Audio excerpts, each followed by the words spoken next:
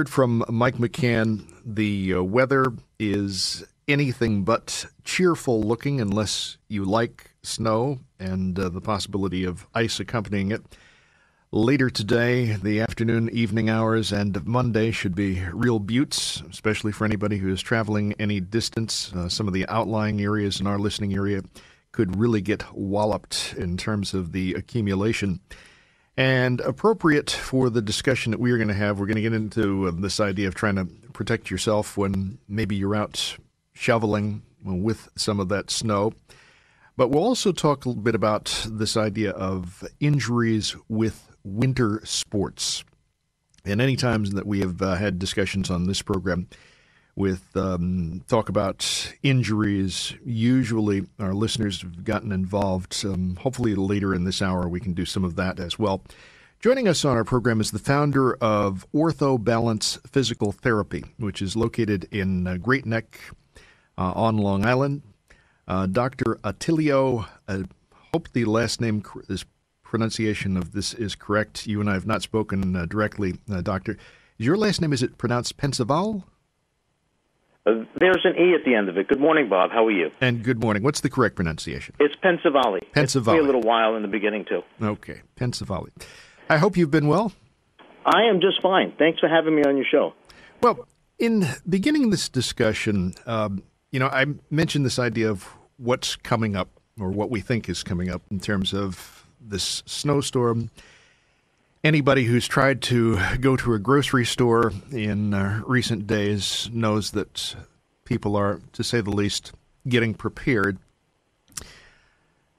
When it comes to this idea of going out and trying to attack sometimes very large amounts of snow, what should we keep in mind? Well, you know, it's a, it's a great question. Certainly, it is timely, and there are a lot of things to keep in mind. Um, you know, certainly going out clearing snow, shoveling snow is not going to be the highlight of most people's days. so, yeah. So there, there really are a few things uh, to, to keep in mind. If you take it from the beginning, first of all, you need to dress appropriately. Um, you know, clearing snow is a uh, uh, somewhat of a vigorous um, physical task, uh, you need to dress appropriately. You need to wear, wear warm clothing, certainly good good shoes that are going to keep you warm and give you good traction, uh, and, and gloves. Uh, the next thing is to look at your your task and really plan ahead. Uh, the two major problems that people run into uh, you know, serious problems when they when they shovel snow is uh, overexertion, um, and it's bad for anybody who has any level of, of of heart problem, whether they know about it or whether it's um, un, un, undiagnosed yet, or back pain. So you need to uh, dress dress appropriately, and you need to plan out your uh, your task. Uh, and that includes knowing the, the snow that you want to remove first and where you want to put that snow so that this way you don't double shovel, uh, so to speak. You know, you shovel, put the snow from one area to another, and then reposition that, that already repositioned snow. Make triple, double, and triple work for yourself. Uh, body mechanics are very important.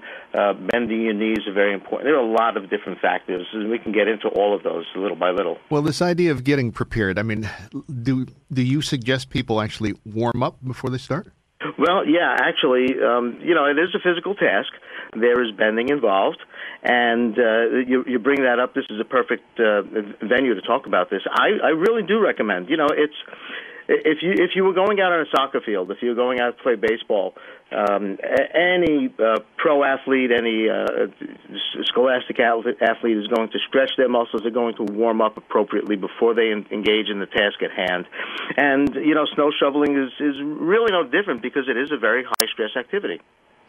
And the idea of the approach that one takes to this, you know, the the last um, snowstorm of significance, if I can phrase it that way, was one that had several different elements to it, and I guess we may be looking at that again, depending on exactly where we are in the listening area with the, this latest storm that's coming.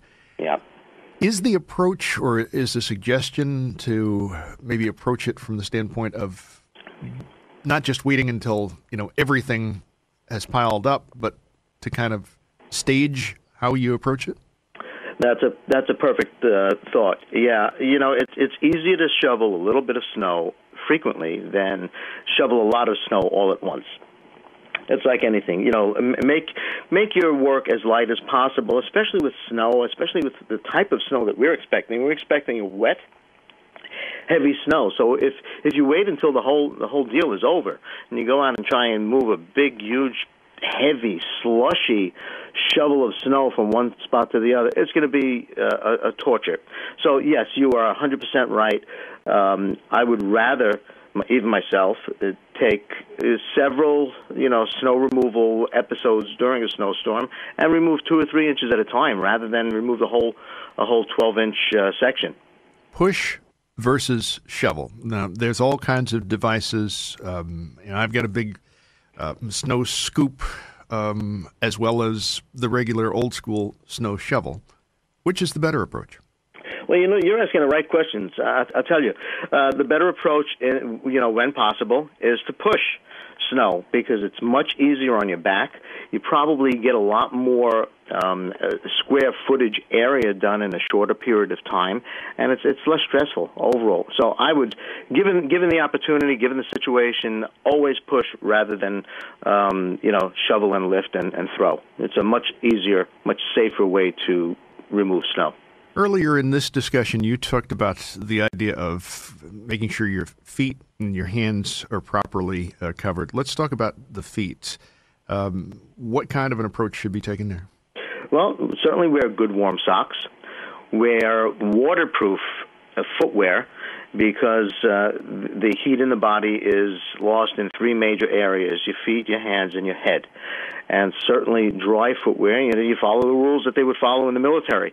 Keep your feet dry because once they start to get wet, it's uh, it's very difficult to really keep up with that, and then your your whole body starts to get cold. So certainly, good warm socks, good footwear that's waterproof, gives good traction, and gives you good support in the snow. And does the time of day matter when you're approaching the snow?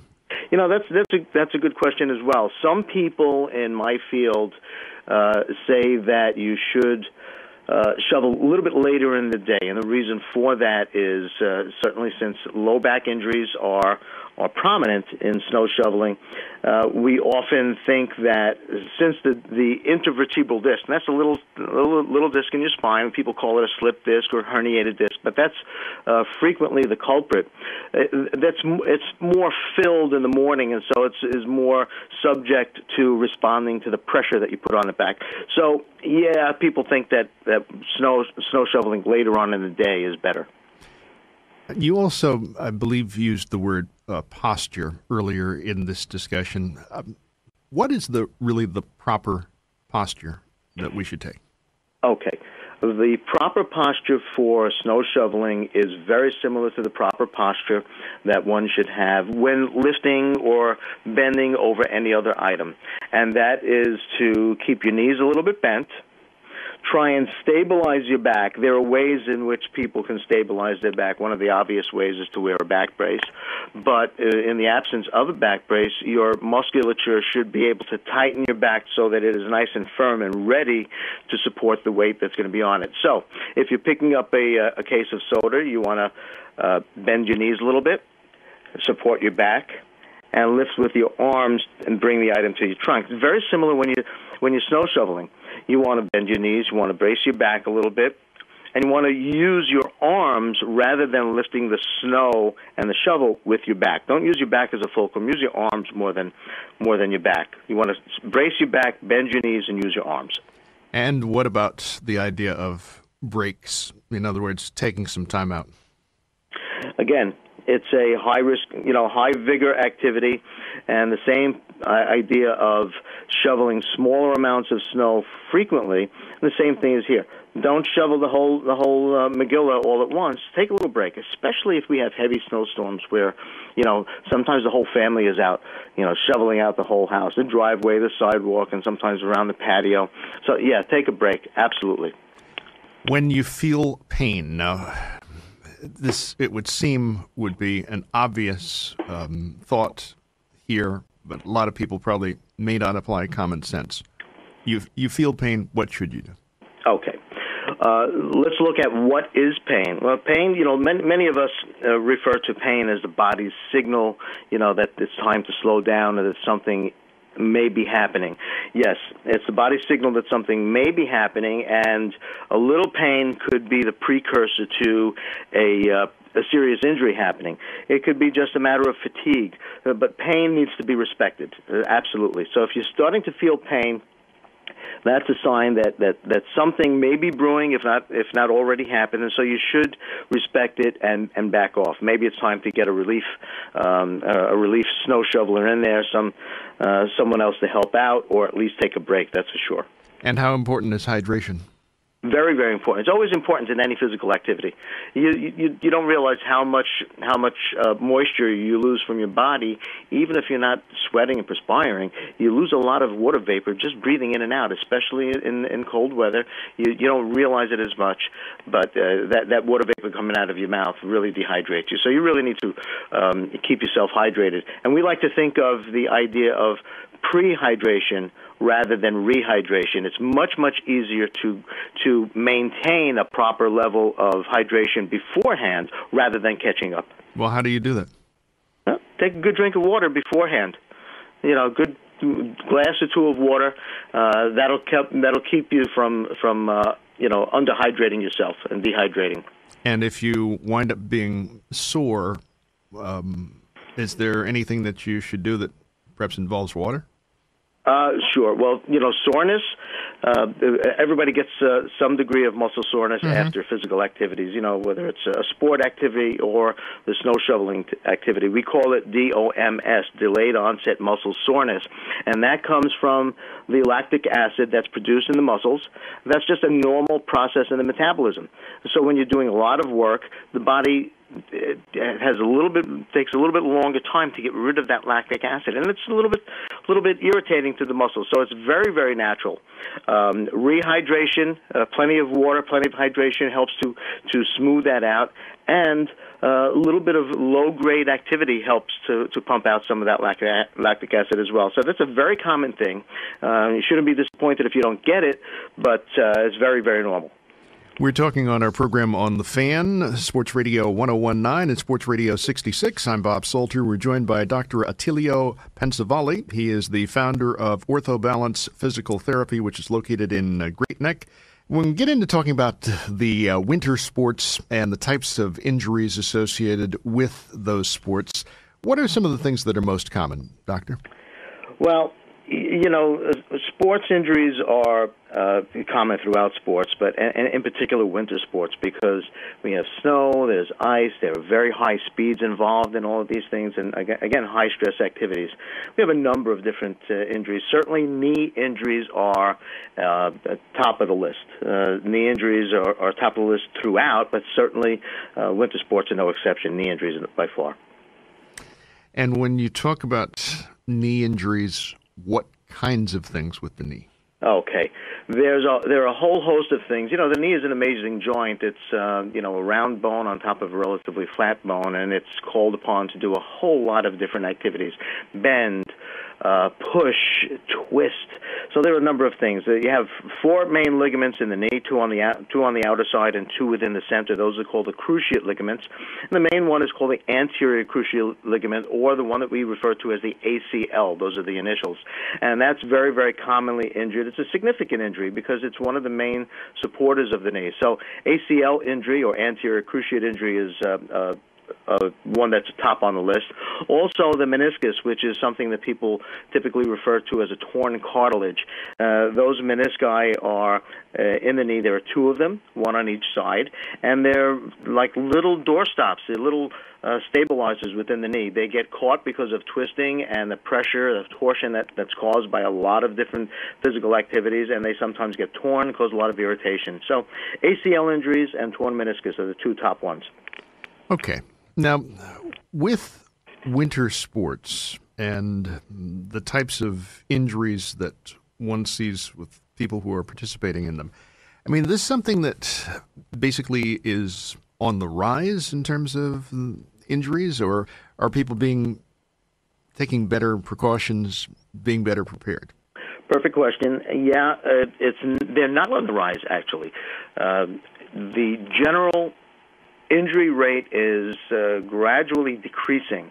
What we seem to see is, however, that the the rate of more serious injuries is somewhat increasing, and that I think is directly related to the fact that uh, skiing and snowboarding and all of the different uh, sports tend to have more and more complex and you know consequently high risk tricks and moves involved. So generally, uh, safety equipment, safety understanding, and better technique are reducing the overall injury rate, but uh, many of the more serious injuries are increasing simply because of greater risk being taken with different moves.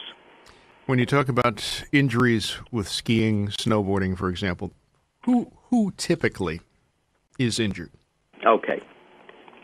Uh, novices, people who are beginners at the sport, uh, the sports, because these are uh, very stressful, high-risk sports activities.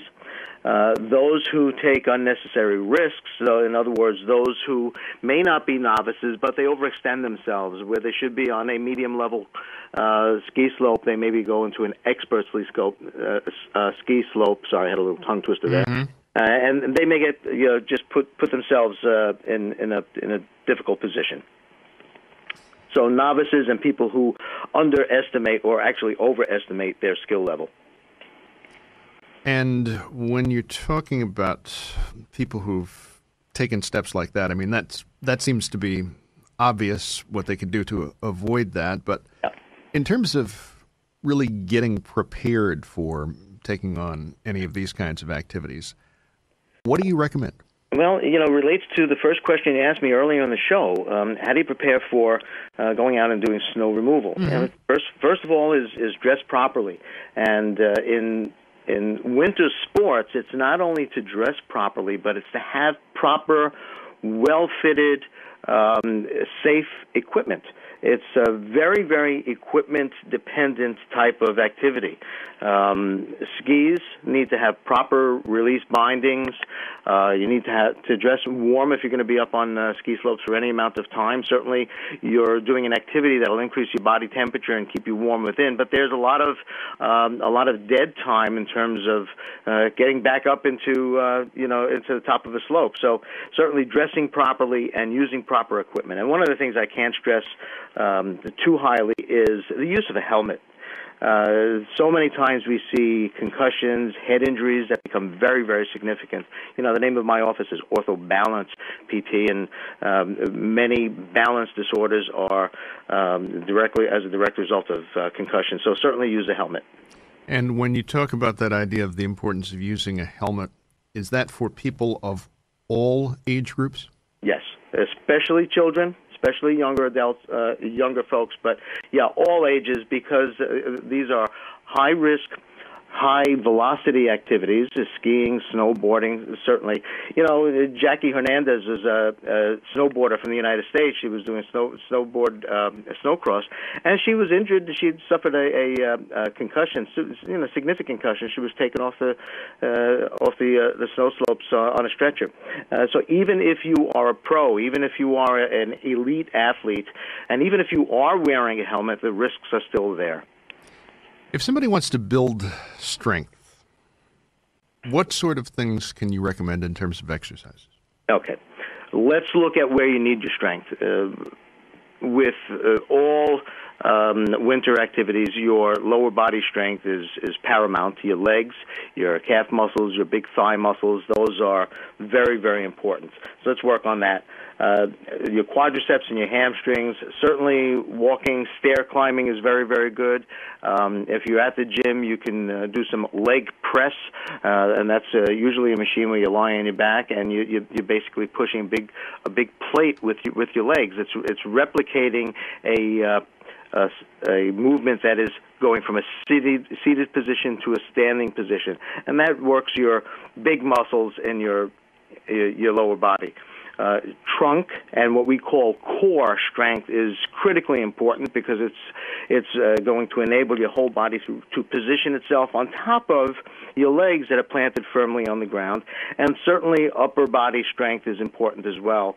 Uh, strengthen your biceps, your triceps, and all of the large proximal muscles, the muscles that are that are attached to the shoulder blade and onto the thorax. You know, somebody wrote a song called uh, "Hip Bones Connected to This Bone," and, and it's true. Everything is connected. So, strengthening, uh, full body strengthening is very important. So, if somebody's looking to um, begin uh, this kind of an activity, what sort of a, a planning approach should they take toward, you know, uh, when it is that they start, I guess, almost conditioning themselves for it? Yeah. Um, you know, there's two, two, generally two categories of people that that we talk about. First off, are those people who are starting the sport and activity for the first time, and those pe- then those people who are returning to the sport because it's seasonal sport, so you may not really be focusing on conditioning and, and strengthening um, and prep for this sport throughout the whole summer. But certainly, a six to eight week period of time, I think, is, is a good amount of time. You don't want to start, you know, on uh, on Monday for your your, your next weekend's uh, ski trip. You you need some plenty of time to really get yourself in, in condition that it would really be a meaningful uh, prep period. So six to eight weeks. All right, let's go back to the importance of using a helmet. You talked about that earlier. I didn't ask you something that I was thinking, and I imagine some of the people listening to us may also have been thinking. Realistically, how often do you think people actually who are participating in these kinds of sports actually are using helmets now? Uh, realistically, I, I think it's about maybe 50% of people are, are, are really using helmets the way they should. So every, every one out of two people that you see probably should be doing something differently than, than they are. What could we do to increase those numbers? Outside well, of having this discussion we're having today? Well, that was my first thing, but yeah, uh, well, you know, as as parents, we can help guide uh, our, our young folks into doing that. Public uh, um, service uh, information is very, very important as you're doing on this show. But just realizing and understanding that the head is very, very important. You know, I I remember seeing a quote um, one time uh, that you know if you if you can walk away from uh, uh, a head injury uh, in a skiing accident, you're very lucky. You owe part of that to luck, and the other the other half of it to your helmet. So it's very very important. Really, people should really understand that protecting your head is very important. It's very much like when you when you're riding a bike. The, you need to wear a helmet and protect your head. You know, I, am going to ask this question just because I don't know. Um, have the helmets become more sophisticated? Are they are they better than they used to be? Oh yeah, yeah. They they understand that you want to um, attenuate or soften the amount of stress that the the impact is giving sooner rather than later, and so they're really making them. Um, they have a, harder shell, and they have much better shock absorption capability within the uh, the confines of the helmet. So they are much much better today than they were years ago. And when taking that approach toward um, getting a helmet, how important is it that somebody has one that's appropriate for them? Well, it's a it's a, a great question. You have, you asked the best questions. well, I, I, try to go on the basis of things that I'm thinking, and hopefully some of the people listening to us are. Thank you. Well, you know, let's let's just take the guy who who wants to get a good pair of uh, um, hockey skates. Mm-hmm he's going to put them on. He's going to feel them. He says, you know, how are they constructed on the outside, and how they, how do they feel? Do they fit right? Do they move right? Is there too much uh, too much slipping action going on inside? Am I am I going to have good control over my feet and the skates? Are they are they going to become one with me? So really the same approach that you should take with uh, with a helmet. Certainly, good quality construction is important, but a good fit is very very important. It has to have a good strap, and it has to have a good fit and contour on your head. They make different sizes, and like I said, they have a, a much better interior construction today that that helps to attenuate or soften um, all of the blow that that might go onto the head. So fit is, I think. Uh, uh, paramount in, in addition to proper construction. Let's go to the other end of the body. Um, broken legs. How common is that with skiers? Uh, very common. Yeah, it used to be uh, that um, the the um, the injuries were largely ankle injuries, but they uh, they improved the, the ski boots. They uh, made them a little bit higher, and uh, as a consequence, uh, sometimes if bindings don't release the way they should, uh, yeah, mid-tibial fractures. The tibia is the, is the shin bone. Uh, mid-tibial fractures occur um, quite often, but uh, they are they are a, a little bit less, a little bit reduced today because of better safety relief bindings. One of the things I had read in preparation for our discussion today is the fact that 10% of all the injuries that there are on the slopes are the result of collisions with other people who are skiing. Yeah. Isn't that something? That's incredible. Yes. Uh, they are there are collisions with, with other skiers, and there's also collisions with, with the with the environment, trees. So yeah, the, part of the thing is that, like you know, again, I mentioned it's a it's a high speed activity, going down and skiing and wishing along, and if your skill level is is borderline and you're coming at somebody, you really need to be able to redirect yourself away from that person to avoid a collision. And uh, not everyone uh, has that has, has that level of skill. So yeah, it's a that's a, a significant number. Um, in, you know, inter skier uh, collisions, and it can be quite quite dangerous. Dr. Attilio Pensavalle is talking with us on our program. He's the founder of OrthoBalance Physical Therapy, which is located in Great Neck. They're on the web at orthobalancept.com. And uh, we've been talking with him about uh, winter sports injuries. We began this uh, hour talking about um, the proper way to approach uh, s- snow. Of course, we got uh, snow and day, and uh, happening for a good deal of Monday, pretty much throughout the listening area. Depends on exactly where you are in terms of exactly how much accumulation there will or will not be. Um, tell you what we'll do is I'd like to try to work some of our listeners into our discussion too. Uh, WFAN's toll free line, 877 337 6666. It is brought to you by the Endless Summer Party at Resorts AC, managed by Mohegan Sun. And we'll see if we can uh, get some thoughts from some of those folks who are listening to us. A lot of times, people in these discussions have mentioned some of the areas of injury that you have talked about. When we talk about the winter sports as well. What about this idea of um, things with people's uh, shoulders, uh, whether they're dislocations, fractures? How common are they? Well, they're pretty common. You know, uh, there were about uh, about 15 or 20 shoulder injuries in the past Winter Olympics in Sochi. Mm-hmm. Uh, they they are significant because you're using you're using uh, ski poles, you're using your arms quite a bit. They are again high high vigor, high stress activities, and even though you know these these elite athletes are very very strong, very very conditioned, the forces that that can occur uh, just in the normal um, operation of these sports are, are tremendous. And then when something goes uh, goes amiss, when you're falling and and tumbling on the snow, uh, anything can happen. But so yes, uh, the shoulder injuries are quite common. Well, you know, you bring up an interesting point that I was thinking about heading into this discussion today. Is this whole idea of you know we saw the elite athletes with the Olympics. If injuries can happen with those folks, then obviously they can happen with those of us who are not elite athletes. Absolutely. So um, the idea is to be as prepared as possible when one is injured. How do we go about, I guess, for lack of a better term, managing injuries? Okay, well, that's a, that's a broad spectrum. You know, uh, first off, if you have a, an, an injury that doesn't require emergency medical care, certainly we look at the RICE principle. It's spelled R I C E. That's rest, ice, compression, and elevation. You certainly want to rest the body part. Let's just say it's a knee. You want to rest it. You want to take it off. You know, take the weight off it, and then you want to try and you know reduce as much inflammation as, as possible. So you want to apply ice, which is a vasoconstrictor, reduces the amount of of uh, inflammation that comes into the area. Uh, compression, you want to keep some pressure on it to reduce the amount of swelling that you have and elevate it. So, for non emergency injuries, certainly uh, rest, ice, compression, and elevation. Certainly, serious injuries need to be seen immediately, emergency department, and if something is persistent, you want to consult with your physician or your doctor of physical therapy uh, to see uh, what the extent of the injury is and start on the healing process.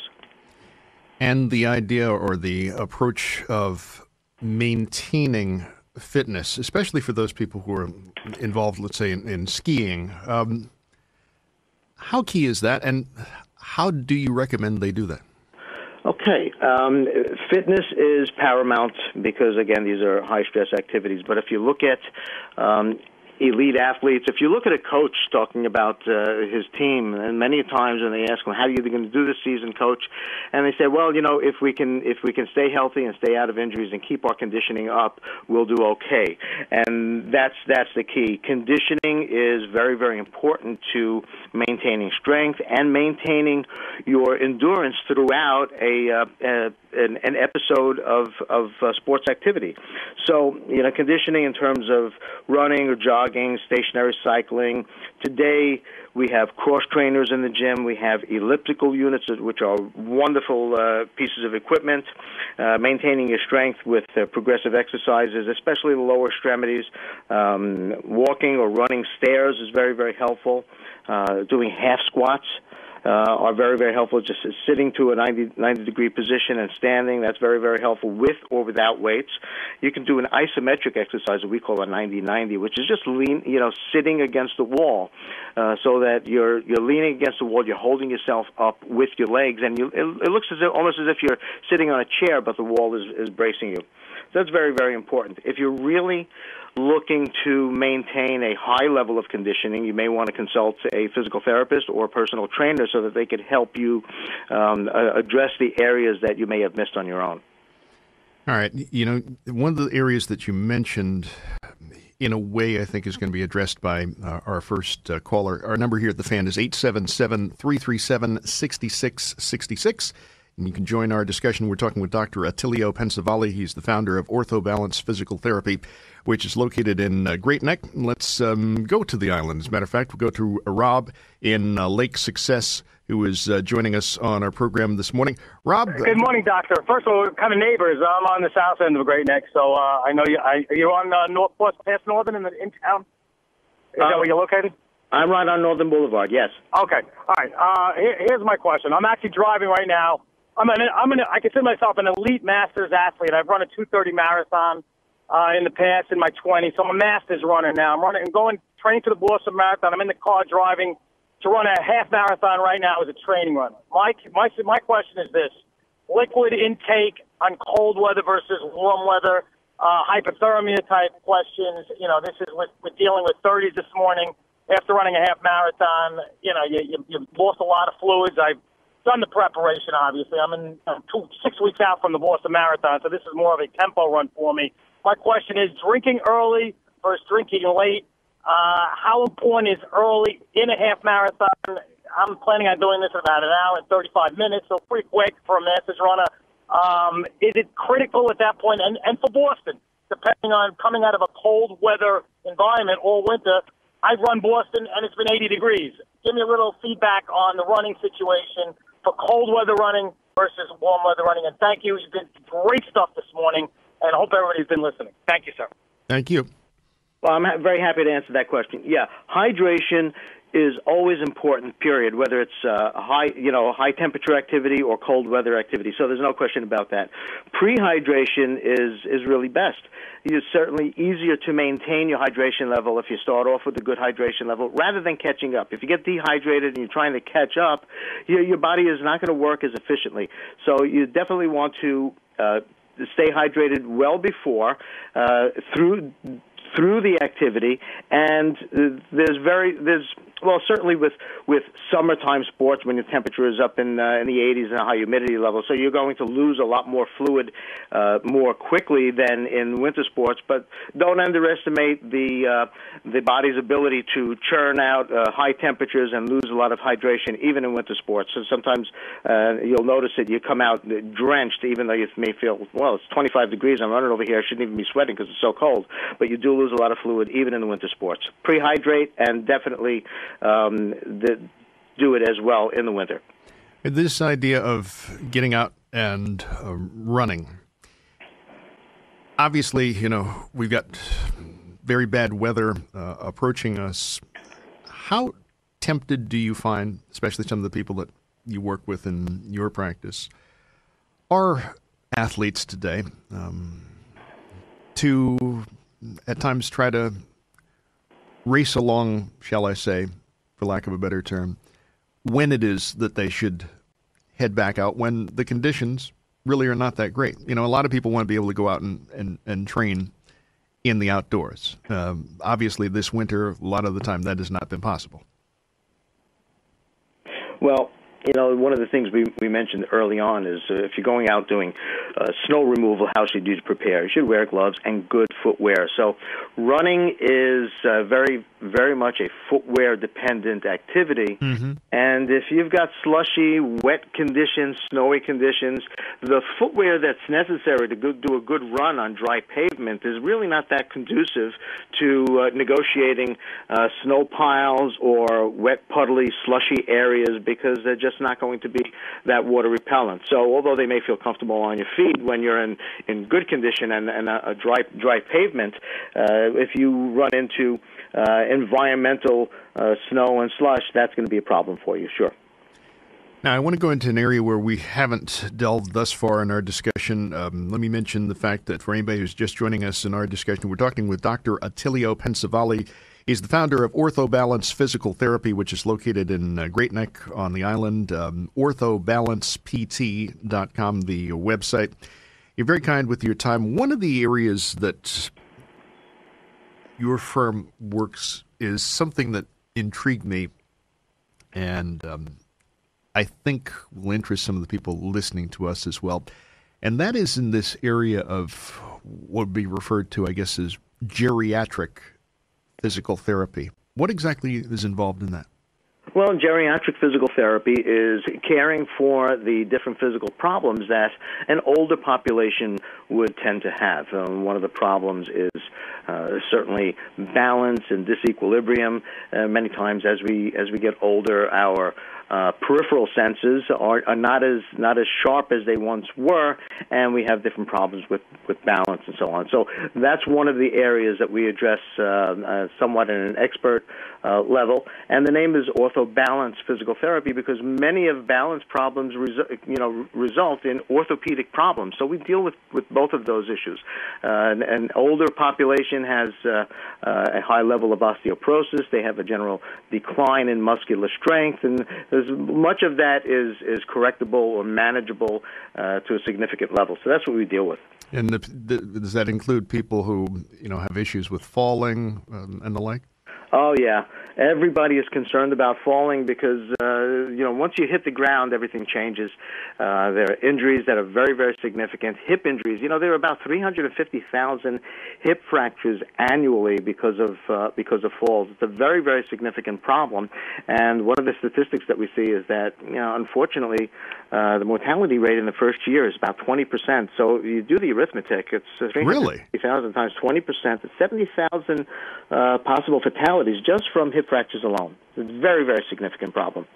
And one of the other areas that always comes up in discussions like that is the whole um, idea of, I guess, walking uh, problems that sometimes people who are a little bit older they will encounter. Those can be addressed.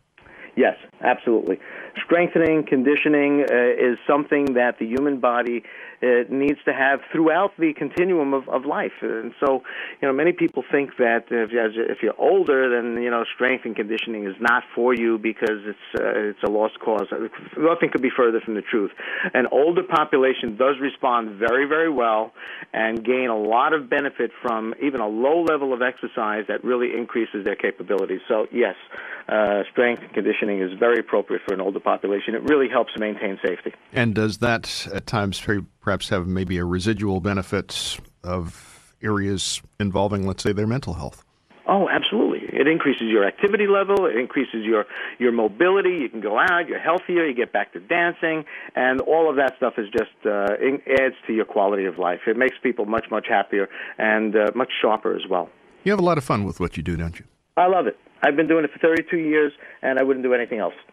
Dr. Attilio Pensavalle, who is a physical therapy uh, doctor. He's the founder of OrthoBalance Physical Therapy, located in uh, Great Neck.